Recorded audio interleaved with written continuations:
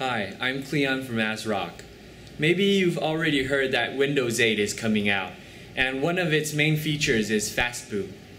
ASRock has updated its BIOS to make booting faster too. Today I'm going to give you a sneak peek of ASRock's fastest 1.5 second operating system login.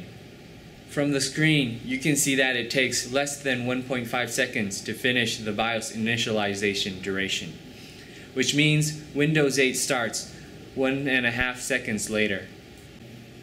The actual time to boot into Windows 8 may differ by the monitor's response time and other components you're using on your computer. Now let's take a look at the actual time it takes to boot into Windows 8. Now I'm going to unplug the power cord to show you that we aren't cheating. See? And plug it back on. And I'm going to hit the power switch over here.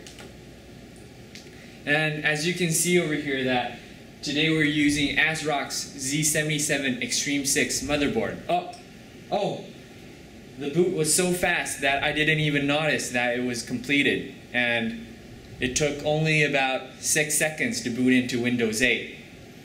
Now I'm going to try to shut this computer down and see how long it takes.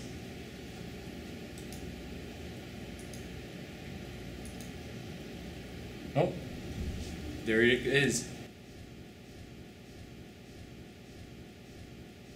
Now, I just can't wait for Windows 8 and ASRock's new BIOS to get released.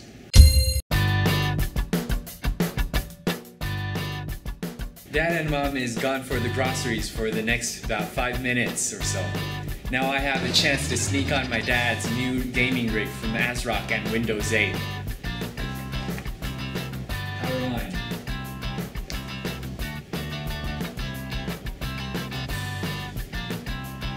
Wow, it boots so fast. Now I can play games while they aren't here.